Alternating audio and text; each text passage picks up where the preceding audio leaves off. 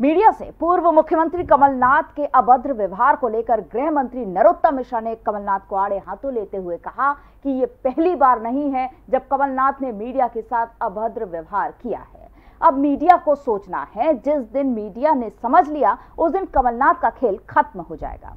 इस दौरान उन्होंने दिग्विजय को निशाने पर लेते हुए कहा है कि खुद की पार्टी संभाल नहीं पा रहे हैं और हमारी पार्टी का मुख्यमंत्री तय करेंगे।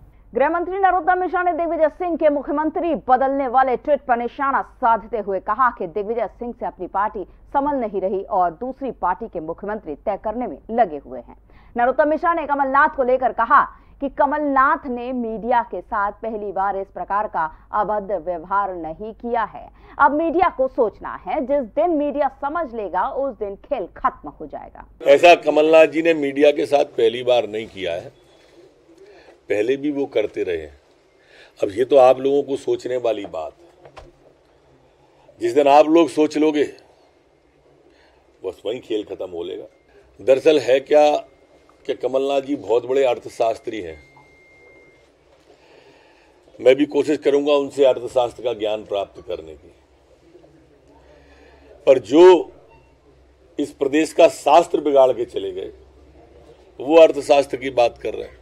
नरोत्तम मिश्रा ने कहा, कांग्रेस एक डूबता जहाज़ है, जिसमें कोई बैठना नहीं चाहता है। वैसे भी कांग्रेस में एक को मनाओ तो दूसरा रूट जाता है, पंजाब को संभालना तो मणिपुर चला गया। उन्होंने राहुल गांधी पर तंज कसते हुए कहा कि राहुल बाबा ने कहा था, जिसको जाना है, चला जाए। इसीलिए तो अध्यक्ष सहित विधायक जा रहे हैं।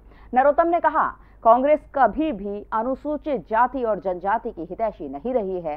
वह इन्हें सिर्फ़ वोट बैंक ही मानती रही है। यही कारण है कि शिव भानु सिंह सोलंकी को उप मुख्यमंत्री ही रखा। उन्हें कभी मुख्यमंत्री नहीं बनने दिया गया। उनके स्थान पर दिग्विजय सिंह स्वयं मुख्यमंत्री बन गए। अनुसूचित जाति और जनजाति के नेताओं को यह बात देर से समझ में आई। कमलनाथ जो प्रदेश का शास्त्र बिगाड़ कर चले गए, वे कमलनाथ अर्थशास्त्र की बात कर रहे हैं। अपनी बिगड़ी बना ना सके हम, जमाने भर के घड़ी साज हैं हम।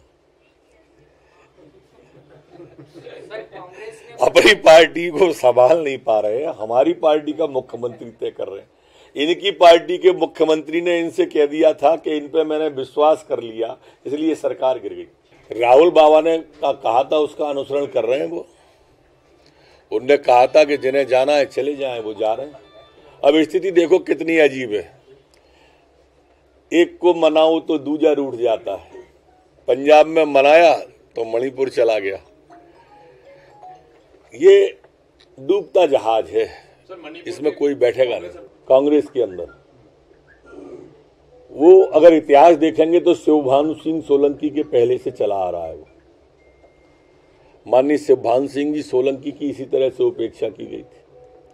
अगर कांतिलाल भूरिया की इसी तरह से उपेक्षा की गई। उनको विधायक बना लिया और मंत्री नहीं बनाया। माननीय शिवभान सिंह सोलंकी जी को उप मुख्यमंत्री तक आने के बाद कभी मुख्यमंत्री नहीं बनने दिया खुद दिग्विजय सिंह जी बन गए। वही मरकाम है इन सबको देर में समझ में आता है बस यही पीड़ा है। कांग्रेस कभी भी अनुसूचित जाति और जनजाति की हितैषी रही नहीं ये सिर्फ़ उन्हें वोटर मानती है। संगीत की स्वर लहरियों से। सांस्कृतिक ताने बाने तक। चंबल के पीड़ों से नक्सलवादियों के गढ़ तक झोपड़ी से महलों तक ठेलों से मेलों तक पगडंडियों से सड़कों तक गाँव से शहरों तक व्यापार से उद्योगों तक। राजनीति से कूटनीति तक। दखन न्यूज़। आपके हक।